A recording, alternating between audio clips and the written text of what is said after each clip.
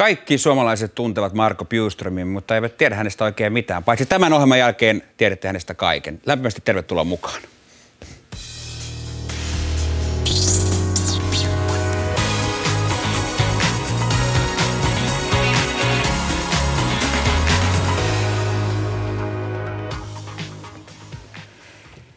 Tänään on iso päivä, kuten joka päivä on iso päivä, mutta siis tänään tulee kuluneeksi tasan sata vuotta siitä, kun Titanic lähti matkalle ja siitä on sitten väännetty monenlaista leffaa ja siitä on tuottanut populaarikulttuuri-ilmiö aika lailla. Mutta yksi mielenkiintoinen juttu paljastui juuri, nimittäin uusi kirja paljastaa, että Hesari, eli Helsingin Sanomat, ei kertonut mitään Titanikin turmasta sata vuotta sitten, kun se tapahtui. Esimerkiksi ruotsinkielinen Hufvudstadsbladet kertoi, eli tieto oli kyllä tullut Suomeen, mutta Hesari ei kertonut mitään Titanikin ää, tapahtumista sinä päivänä, kun se tapahtui. Ja mä rupesin ihmettelemään tätä aika lailla, että et, et, minkä ihmeen takia Hesari ei kerro näin isosta asiasta. Mun piti, mun piti oikein mennä lehtiarkistoon katsomaan. Kävin katsomassa tuon päivän Helsingin Sanomat vuodelta 1912. Ja kyllähän se niin on, että siellä oli paljon tärkeämpiä uutisia. Sieltä löytyi hyvin tärkeitä asioita. Muun muassa se, että Hesari muuttui tabloid kokoon – Vuoden 1912 Hesarista Titanikin sijaan löytyy myös älykköraadin vastaukset kysymykseen, onko yhteiskunnan eriarvoisuus kasvanut. Ja sen lisäksi oli koko sivun vasemmistolaisen taiteilijan haastattelu, jossa vasemmistolainen taiteilija sai kritiikettä puffata tulevaa levyä ja näytelmäänsä. Joten ei ole kummakaan, että Titanic ei mahtunut sen päivän Hesariin silloin. Ja tämän päivän suurin battle, se käydään myös Hesarissa Helsingin Sanomien pääkirjoitussivulla. Siis mähän luen lähinnä ö, amerikkalaista juutalaista nykykirjallisuutta ja suomalaista uutta lyriikkaa, mutta jos joskus luen lehtiä, niin luen Hesarin pääkirjoitussivuja. Ja siellä Eva-johtaja Matti Apunen kirjoittaa aika mielenkiintoisen kirjoituksen tänään. Hän nimittäin arvostelee Helsingin Sanomia siitä, että miksi Hesari saa niin kritiikittä puffata, tai miksi Hesarissa niin kritiikittömästi puffata esimerkiksi Palefacein levyä. Ja kun Paleface on kantaottava, niin Palefaceilta ei kysytä mitään jatkokysymyksiä siitä, että mitä tämä kantaottavuus oikein tarkoittaa. Näin siis Evan toimitusjohtaja Matti Apunen kritisoi tänä, päiv- tänä päivänä Helsingin Sanomissa Palefacea. Mä oon aina arvostanut Palefacea, hän on oikeasti lahjakas tyyppi. Ja, ö, varsinkin sen jälkeen, kun oli ensin nämä amerikkalaiset rap-levyt, niin nyt nykyään, kun hän räppää suomeksi, niin Paleface on oikeasti tuonut tämmöisen uuden kulttuurin Suomeen, siis Hiski Salomaa-tyyppisen. Mutta yksi ainoa asia, mitä mä en tajua, se tämä Helsingin Shangri-La-biisi, niin selvittäkää joku mulle, mitä siinä tarkoitetaan, kun siinä lauletaan valittaen, että – julkisivuduunarit, ne Tallinnasta tuodaan. Siis julkisivuduunarit, ne Tallinnasta tuodaan. Onko Payface jonkin sorttinen persu? Onko se, onko se, miten, miten sä näet Marko tämän? No ei, se on kustannuskysymys. Sehän takia ne sieltä tietenkin tuodaan. Että ne on halpoja? No se on varmasti edullisempia kuin suomalaiset. Plus, että Suomesta ei välttämättä edes löydy enää sellaisia. No nyt tulee tuhat vihasta meille, että kyllä löytyy, kyllä löytyy. Mm. Mutta siis ongelma on siis se, että niille maksetaan liian vähän. Mutta pitäisikö niiden tulla tänne vai ei? Haluaako Paleface siis, että rajat painattaisiin kiinni? Siis jos tässä on ideana se, että niille ei makseta tarpeeksi, niin tilanne on mun mielestä pikkusen sama kuin se, että ajatellaan, että meillä on loistoristeilijä, jossa on vain ykkösluokan hyttejä. Se on Suomi. Meillä on kaikilla vain ykkösluokan hytit. Ja me nähdään haaksirikkoutuneita jossain vedessä. Niin me ei voida nostaa niitä sinne veneeseen sen takia, että jokaiselle ei voida antaa ykkösluokan hyttiä. Parempi jättää ne sinne veteen. Niinkö? Niinkö Paleface? no niin. Helppohan meillä on tässä nauraskella. Me ollaan hyvä osa siinä, Marko, eikö olla? Kyllä. Oletko rikas? Oletko rikas suvusta? Suomen ruotsalainen. Mä, se on niin, kaikki suomen ruotsalaiset on rikkaita, eikö niin? Mä oon hyvin toimeentulevasta suvusta ja yrittäjäsuvusta. Et sieltä mun äidin puolelta niin aikoinaan ihan niin kuin silloin, kun mä olin pieni, niin ei me mitään rikkaita auto, mutta asiat meni ihan hyvin. Koskaan ei ole tarvinnut kärsiä nälkää eikä vilua eikä sellaista, mutta ei myöskään ei ollut mitään julmetummoista yltäkylläisyyttä ympärillä, mutta ihan kaikki on mennyt hienosti. Me ollaan muuten paikassa tällä hetkellä, mikä oli aikanaan Bumtsibumin yleisölämpiö. Siis mm. tässä viereisessä studiossa kuvattiin Bumtsibum vuosikaudet tässä samassa tilassa. Ja se oli hillitöntä aikaa. Se oli ihan siis Suomen ykkösjulkis silloin. Mä, mä kuulin huhuja, että sä tienasit ihan helvetin hyvin. Paljon sä tienasit silloin yhdestä ohjelmasta?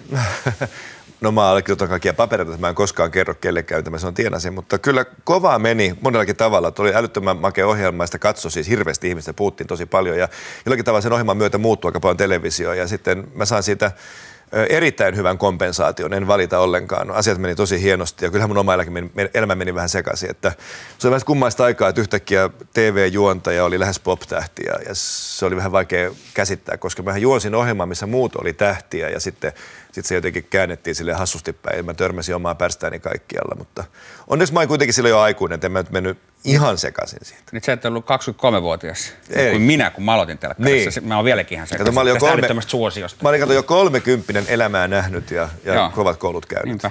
Mutta puhutaan kohta lisää siitä, että miten Marko elämä meni sekaisin silloin. Mutta oli, oli se mieletöntä aikaa. No olihan se aika makeata aikaa. Sitten ja. lisää katkon jälkeen. Mm.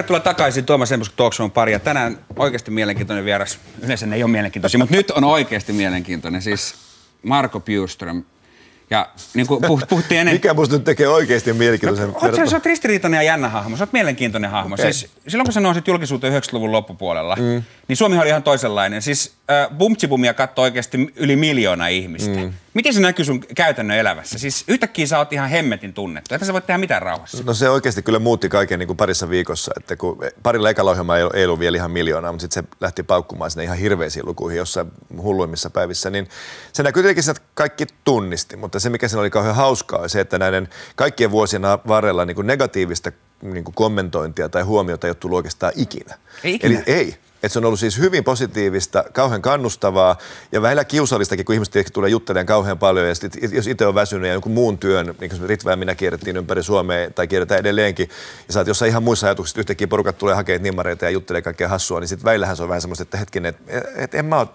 en, mitä, miksi, miksi te mulle puhutte? Mm. Mutta tota noin, niin, Mulle ei ole siis kauheasti kyllä valitettavaa, koska mä sain lähinnä niin kuin hirveän hyvää palvelua ja kohtelua ja kohteliaisuuksia ja kaikkea niin kuin mukavaa siihen liittyy enemmänkin kuin epämukavaa. No se oli pop-tähden liksa. Siis sillä kun sä ostit saaren ja asunnon Helsingin ydinkeskustasta. niin, kyllä siis äh, siihen yhdistyi monta asiaa. Mä oon tehnyt kauan aikaa jo yrittäjänä töitä ja aika niin kuin, hyvin palkattua työtä tuolla yritysvalmennuspuolella. Että, että se nyt ei niin kuin se bumtsibum ei kaikkea yksin muuttanut, mutta kyllä se nyt tietenkin yhtäkkiä hmm. heitti siihen aika paljon niin kuin lisää asioita. Ja sitten kun mä en ole koskaan kausti niin törsäily mihinkään tyhmyyksiin, vaan mä niin kuin rupesin toimimaan ikään kuin omasta mielestäni järkevästi. Ja sitten tietenkin otin pankkilainaa ja hankin asioita ja sitten sain maksettua ne lainat niin kuin tiettyyn pisteeseen aika nopeasti. Mutta Suomessahan esimerkiksi tämmöinen kuin tuloerot on aika iso tabu. Mm. Ihmiset ei saisi tienata enemmän kuin toiset. Mitä sä ajattelet siitä?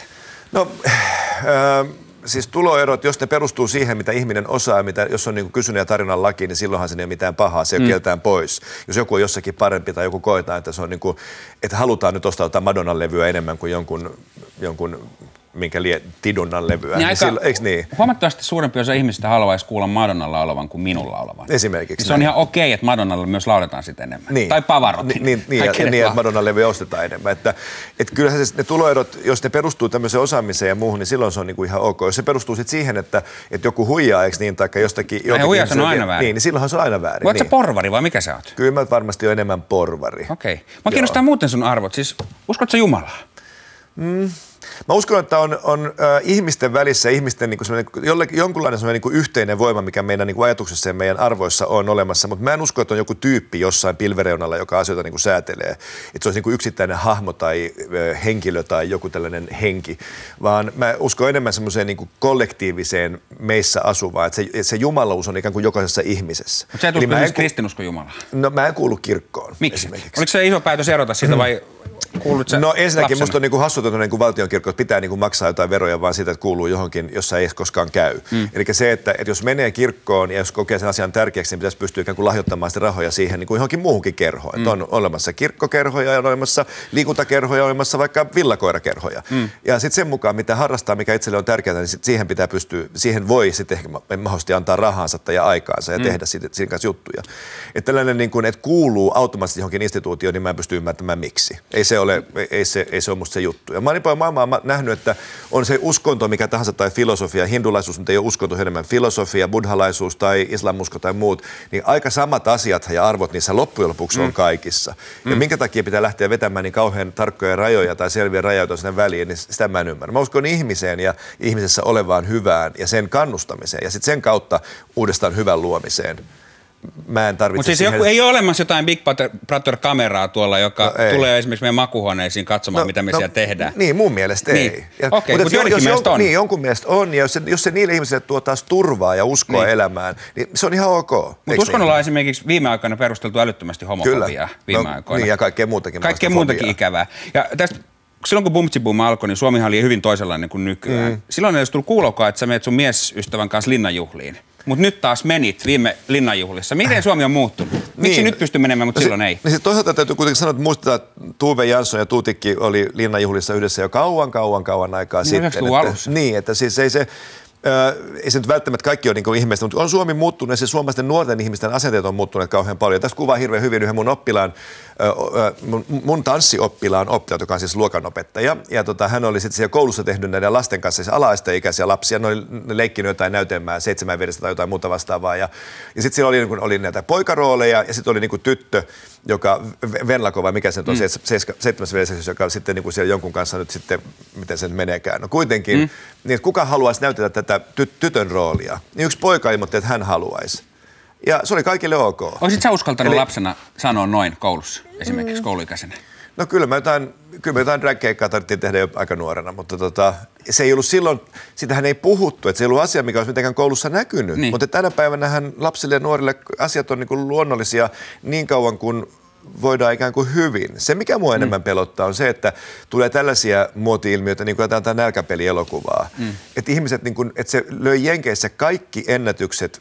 Mikään leffa ei ole koskaan saanut niin paljon katsoa yhtenä viikonloppuna. Mä en ole sitä leffaa nähnyt, enkä sitä kirjaa lukenut, mutta vaan se, kun kuulee, kun puhutaan siitä, että ideana että lapset, niin kuin, nuoret siellä tappaa toisiaan, että on, mm. eletään niin kuin, utopiassa tulevassa maailmassa, jossa, niin kuin, jossa vain Mut, se voittaa, joka kaikki muut kuolee ja yksi selviää, niin se on niin kuin jotenkin Mutta nyt sä, kuitenkin eihän maailma ole menossa mitenkään pahempaa parempaan no suuntaan. No siis väkivaltaisuus on vähentynyt niin. ihmisessä ja, ja tota noin, niin, äh, silloin tosiaan 90-luvun lopulla Suomi oli hyvin erilainen. Miksi päätit esimerkiksi silloin olla puhumatta sun homoudesta?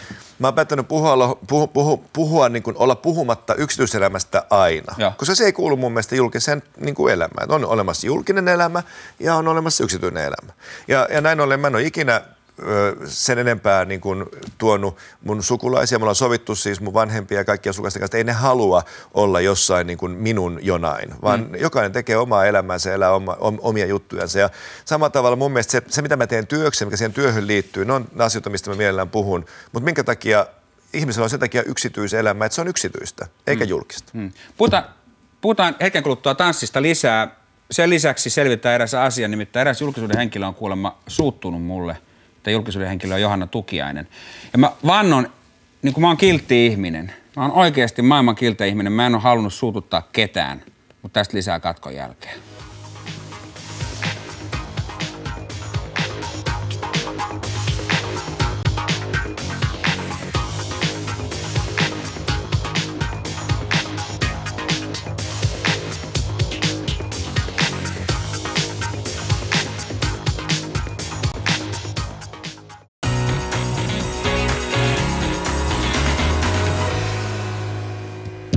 Tervetuloa takaisin Tuomas Empusk Talk pariin. Ja kuten aikaisemmin sanoin, niin Johanna Tukiainen siis jostain syystä suuttunut minulle. Ja meillä on jostain syystä tästä kysymyksestä keskustelemassa Suomi-Natsi-Saksa-yhdistyksen puheenjohtaja, Suomen skinheadien johtaja Aki Linnanahde. Kiitos. Kiitos tästä, tästä esittelystä. Siis tässä on meidän ohjelman tuottaja, joka tavallisesti huutelee tänne korvanappiin mulle minuutteja, että montako minuuttia on jäljellä. Nyt kysy jotain seksistä, nyt kysy jotain rankkaa. Mä näytän vähän niin kuin pihalla olevalta se johtuu, että tämä mies huutelee korvaan. Mutta siis mistä nyt on kysymys? Mistä se Johanna Tukiainen on suuttunut mulle? Maailman kilteimmälle miehelle. Seitsemän minuuttia jäljellä. Okei. Okay. Uskotko Marko tota, että tämä on maailman kiltein no, kyllä mä uskon, että se aika kiltti on. Kyllä mä sen kauan aikaa tuntenut. Mutta sitten tietenkin vielä voi innostuessaan saattaa lipsahtaa jotain, joka ei ole ilkeyttä. Siis mä inhoon, mä tykkään puhua suoraan. Ja mä haluan, mm. niin kuin Aristoteles sanoi, että semmoisia asioita ei kannata sanoa ääneen, mitkä kaikki jo tietää. Mm. Silloin tulee hyvä keskusteluohjelma, kun kysyy jotain muuta. Et en mä missään nimessä halua pottuilla esimerkiksi Johanna Tukiaiselle. Mä mieluummin pottuilisin niin kuin Paavo Lipposelle tai Marko Bjurströmille tai Ruben Stillerille. Siis mm. ihmisille, jotka osaa puolustaa itseään. Tai tuottajalle. Tai tuottajalle, Tästä niin. ollaan samaa mieltä. Siis totta Mut kai mitä näinhän se on. Nyt on tehnyt? Sä oot sympaattisen oloinen mies Espoosta. Mä haluan uskoa Kyllä. sua. Mutta meillä oli tää Heglund, Bemarilla. meillä oli tää Heglundin keissi ekalla viikolla. Mm. Ei siitä nyt sen enempää enää. Nyt Tukiainen, hän on närkästynyt ennen kaikkea siitä, mitä Kiirastorstain lähetyksen ihan siinä lopussa tapahtui. Okei. Meillä on itse asiassa siitä klippikeksoa. Katsotaan, mitä sinne sitten tapahtuu. Mun mielestä mä olin kyllä kilppi. On, on rohkeasti sitä, mitä hän on. Saanko mä yhden pyynnön esittää? Ei tänä pääsiäisenä kauheasti viinaa, eikä lääkkeitä, eikä muuta. Vedä, lupaatko mulle tilata rauhallisen pääsiäisen? Mähän sanoin jo, että mä oon lopettanut viinamies. kaksi viikkoa sitten. Ei, kaksi viikkoa Kaksi sitten. vuotta. Mutta mut viina myös rauhallinen pääsiäinen. Lupaatko? No siitä tulee suhteellisen rauhallisesti. Mulla- Siis tuo oli musta oppikirja esimerkki siitä, kun ihmiset meuhkaa, aina kun ihmiset meuhkaa joidenkin toisten ongelmista, niin ne puhuu yleensä enemmän itsestään. siis mun täytyy sanoa, että mä join kyllä pääsiäisenä vähän liikaa. Kun rouva oli Pohjanmaalla Vaasassa ja mä, ei nyt lääkkeitä enkä huumeita, mutta Niin, viskiä. mä- nyt rupeaa kiinnostamaan Hyvä, hyvä viskiä Espoossa ja ai että nyt vieläkin on hirveän jäykkä olo. Niin, siis vedätkö Marko ikinä semmoisia oikein kännejä? No joo, kyllä. En mä mikään tämmöinen niin absolutisti ole, mutta Oletko sä siis päissäs? joo, mutta mulla ei tule koskaan krapulaa. Mut Miten se- millainen sä oot silloin? Kun sä oot näin energinen ja iloinen muuten. Ö, Kyllä mä aika samanlainen oon, että siis en mä usko, että mä hirveästi muutun.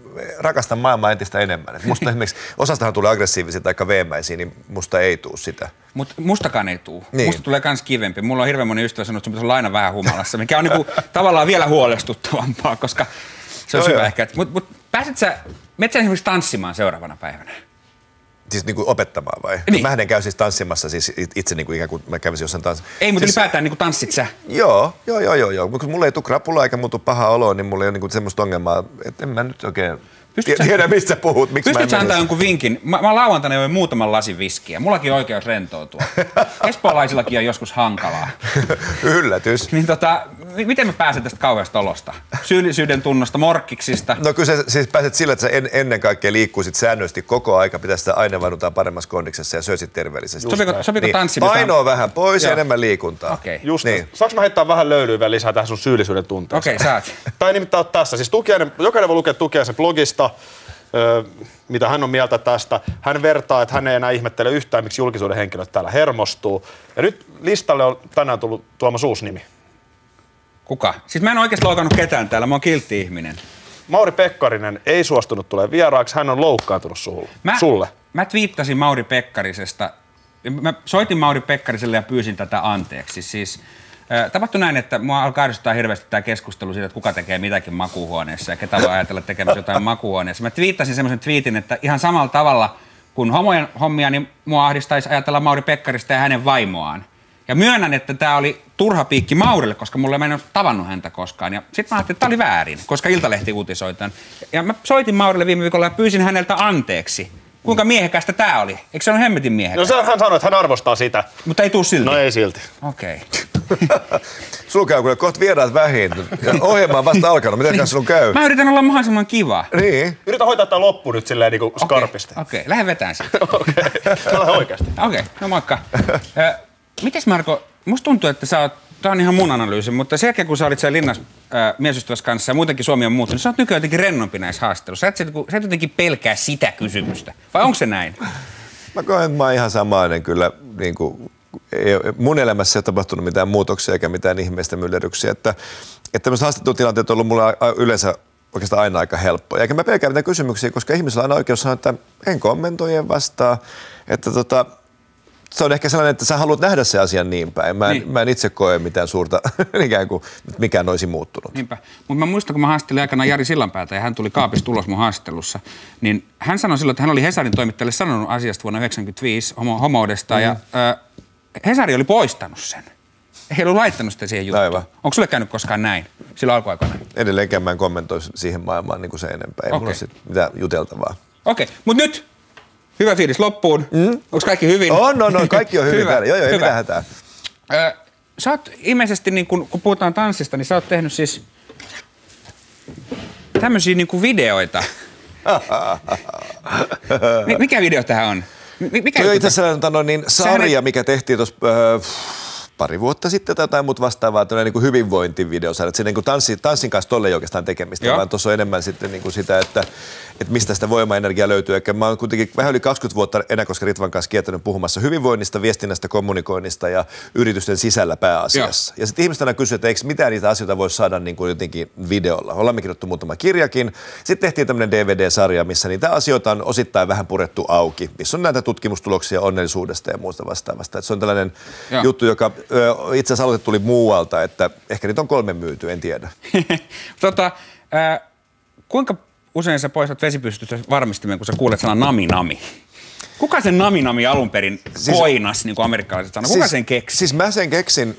Mä oon pitänyt tanssitunteja. Silloin kun mä oon tanssiopettajana 16-vuotiaana Aira Samuelin tanssikoulussa ja mä olin itse siis juuri murrosia ohittanut ja mun oppilaat oli vähän mua nuorempia. Ja diskotanssia kun siellä opeteltiin ja diskotanssi lähti tuossa keskivartalosta lähtevästä pois pumppaavasta liikkeestä, jolloin sitten nyt vatsamakkaroita väkisinkin tulee, kun mennään alas ja sitten ne vähän oikeenee ja taas tulee makkaroita. Niitä nuoria hävetti ne niin paljon. Ne oli ihan yäkyjä, en mä näitä. Ja sitten mä, sitten mä niin kuin siinä, että miten mä nyt saan tämän jutun eteenpäin, ettei niin ta- tavallaan tämmöiseen epäolennaiseen asiaan mm. puututa, niin sitten mä vaan yhtäkkiä sanoin niille, että tämä oli ihan alkupään tunteja, kun mä elämässä niin urani aloittelin, niin mä sanoin, no sanokaa vaikka, että nami nami. Mm. Ja tämä on taivaan tosi, näin se alkoi se juttu. Siis nykyään ärsyttääkö se sua nykyään? Ei, se on ihan hauska. Ja se on edelleenkin, kaikki mun tanssioppilaat tietää, että se on mun niin kuin, tunneilla olennainen osa sekin, että se on ollut mm. siellä aina. Se on ollut siis 80-luvun alusta saakka. Sitten siinä, niin kuin, miten se siihen Bumtsiboomiin tuli mukaan, niin, niin se oli varmaan sellaista niin turvallisuuden hakemista, että sen tanssin kauttahan mä tein sitä juontohommaa, koska en mä laulaja enkä ollut juontajakaan Niinpä. siihen mennessä. Että jengihän huutaa mulle vieläkin, jos on tuolla kaupungin, mä kuulen, joku saattaa huutaa mun perään, että hei nami nami. No niin varmaan, sä oot kuullut sen on- varmaan miljoona No mutta on se kivempi kuin fucky fucky on, esimerkiksi, se on ihan niin? totta. Niin. Mutta siis mä, mä en oikeasti sinut kroppani kanssa. Siis mä haluaisin olla hoikempi. Ja mä Mutta ei se halu riitä, vaan pitää tehdä jotain. Niin, if, miten se Robbie Williams lauloi, että it's time to move your body. Mutta siis äh, tää, mä oon tämmönen, mun pitäisi ilmeisesti hyväksyä itseni tällaisena. Mutta miten hemmetis, mä, niinku, kun mä tutustuin, tein taustoja susta, niin sähän, et sä nyt enää mikään nuori mies. Siis sä, anteeksi vaan, mutta sä alat Niin. lähestyä viittäkymppiä. Niin, mä Sori, mä sori kauheeta. Mulla Ei. huutaa koko ajan tuottaja korva, että kysy joku myönteinen kysymys No tähän loppuun. hei, Mä mitä soria, si- mitä soria siinä? Se on hieno. 46, mä täytän ihan nyt kuukauden kuluttua ja mä oon siitä Onko sulla ikäkriisi? Ei. Okei. Pitäisikö mulla olla? Ei. Onko mä niin pahan näköinen? Et, sä oot helvetin hyvän Mä näköinen. voin hyvin ja mä joraan ja opetan ja ei siis, eihän ikä ole, siis mun isoäiti, joka kuoli kuukausi sitten, kuoli, mä täyttänyt 93 nyt ensi kesänä. Ja hän jo halusi poistaa, että silloin se niin kuin hänelle suo, eikö niin? Aira on 85, Niin menee on. vielä ihan täysillä. Mä Aira on nuori uskomaton. Jannu ja oot ihan lapsi. Niin onkin, mutta hemmetin huonossa kunnossa. Ehkä se tästä tanssimaan lähtee. Kiitos Marko Bjurström, mahtava vieras. Kiitos, Tuomas. Huomenna äh, Viivi Pumpanen ja torstaina kiinteistökuningatar Kaisa. Mielenkiintoinen viikko luvassa. Ihania vieraita. Kiitos. Kiitos.